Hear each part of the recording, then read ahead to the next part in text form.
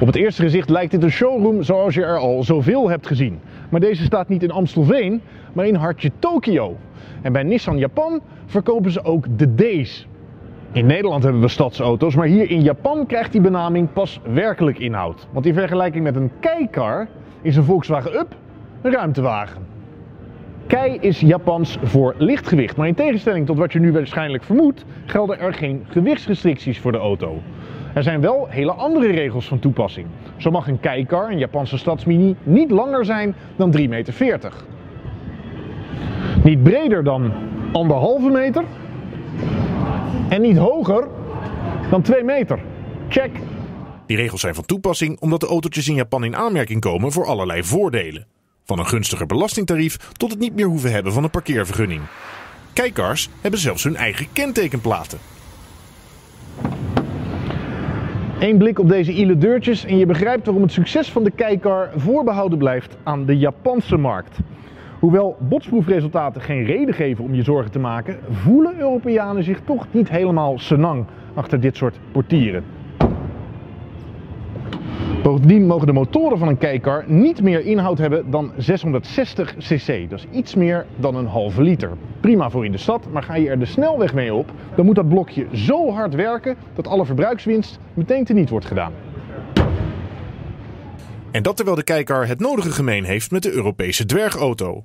Beide zijn ontwikkeld om de massa na de Tweede Wereldoorlog mobiel te maken. In zekere zin geldt dat nog steeds. We zijn nu natuurlijk in Japan, dus de prijzen worden aangegeven in yen. Maar ruwweg kun je dat omrekenen naar euro's door de komma gewoon twee plaatsen naar links te doen. En dan kost deze Nissan dus 15.000 euro. Kijken we naar een traditionele B-segmenter, de Note bijvoorbeeld, die hier even verderop staat, dan rekenen de Japanners daarvoor 25.000 euro. Iedereen hier maakt Keikars, van Mazda tot Toyota. En er zijn ook de nodige kruisbestuivingen, want deze Nissan Days wordt bijvoorbeeld ook als Mitsubishi verkocht. Ze mogen dan klein zijn, Keikars zijn wel van alle gemakken voorzien. Van keyless entry, tweekleurige lak en hybride aandrijflijnen tot navigatiesystemen en elektrisch bedienbare schuifdeuren. Je kunt het zo gek niet bedenken of het is op zo'n Japanse stadsmini verkrijgbaar. Bij een Europese stadsauto mag je al in je handjes knijpen als je zoveel beenruimte over hebt. Maar dit is pas hoe je in een Kei-car begint. Want deze achterbank is verschuifbaar. En dat niet alleen. Ik kan de rugleuning van de achterbank ook nog neerklappen. Dus ik heb hier limousine ruimte in een auto waarvan je er twee kwijt kan in een reguliere parkeerplek. Hmm. De bagageruimte is dan weer niet om over naar huis te schrijven. 93 liter inhoud met de rugleuning overeind.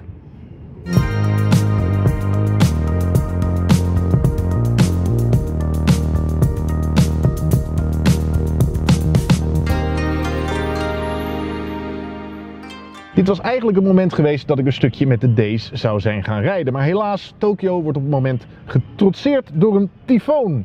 Heel veel regen. En dus mag ik van de Japanners de weg er niet meer op. Nou ja, dan ga ik je maar vertellen wat me opvalt nu ik eenmaal achter het stuur zit. Dat is in de eerste plaats deze blauwe knop op het stuur. Die ken ik uit de Nissan Leaf. Want daarmee activeer je ProPilot, een systeem waarmee je deels autonoom kunt rijden.